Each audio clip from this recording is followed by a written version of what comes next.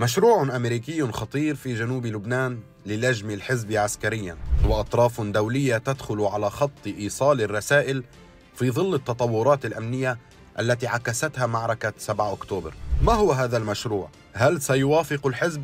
وماذا ستكون ردة الفعل؟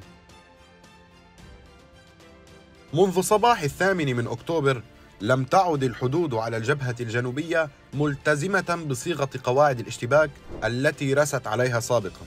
بل شهدت هذه الجبهة تطورات خطيرة وصفها مراقبون بحرب حقيقية. في الوقت الذي لم يتوانى الأمين العام للحزب عن الظهور والإعلان رسميا أن ما يحصل في الجنوب هو جبهة مساندة للحرب الدائرة في غزة.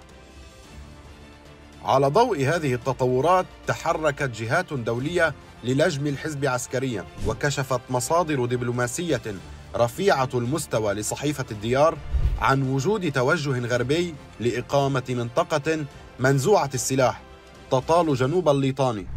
تتولى قوات اليونيفيل وحدها مسؤولية هذه المنطقة بالإضافة إلى انتشارها على طول الخط الأزرق وإبعاد الحزب عن الحدود.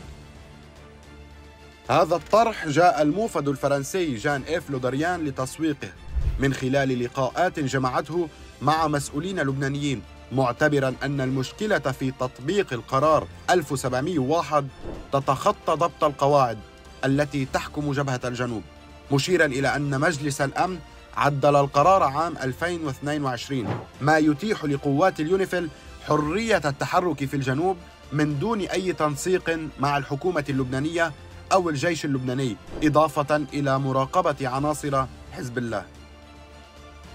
وتواجه قوات اليونيفيل تعقيدات كبيرة في تعاملها مع مؤيدي الحزب في الجنوب خصوصا بعد التعديلات التي أدخلها مجلس الأمن على مهامها. وكشف مصدر مطلع على أجواء الحزب للشرق الأوسط أن الأخير يرفض بالمطلق أي بحث بدوره العسكري والأمني في نقاط المواجهة مع إسرائيل. أو تغيير في مهام اليونيفيل كي لا يعرضها للخطر مؤكدا أن الحادث الذي حصل مع الدورية الإيرلندية في منطقة العقبية هو عبارة عن رسالة إلى قوات الطوارئ بأن ما كتب على الورق في القرار 1701 غير قابل للتنفيذ على الأرض. بدوره رأى عضو المجلس المركزي في حزب الله الشيخ نبيل قاووق خلال احتفال تأبيدي في حسينية بلدة عيتيت الجنوبية إلى أن موقف الحزب بعد استئناف العدوان الأمريكي والإسرائيلي على غزة هو نفسه مشيرا إلى أن ما يدور حول تعديل القرار 1701 يهدف لإنشاء منطقة عازلة على الحدود بهدف تطمين المستوطنين مؤكدا أن الحزب لن يسمح بأي مكسب إسرائيلي وبأي معادلة إسرائيلية جديدة على حساب السيادة اللبنانية.